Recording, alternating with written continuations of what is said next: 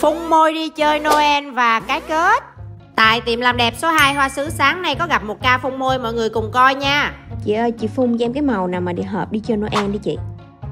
Noel hả? Dễ lắm. Có màu xanh lá nè, màu vàng nè, màu xanh neon nè Hợp với Noel nhất, nhìn phát là biết liền luôn. Còn không mình trộn xanh với vàng vô cũng được. Em không ấy em thích màu nào chị làm cho? Chị ơi mình còn cái màu nào mà nó bình thường hơn không chị? Có, có cái màu xanh cánh bướm á Dự đoán là hot trend 2024 á Hay là màu đỏ hoặc là cái màu Dạ màu đỏ. Ủa chưa nói hết mà. Dạ thôi em chốt màu đỏ đi chị. Chị làm liền cho em luôn đi chị. Rồi vậy chọn màu đỏ ha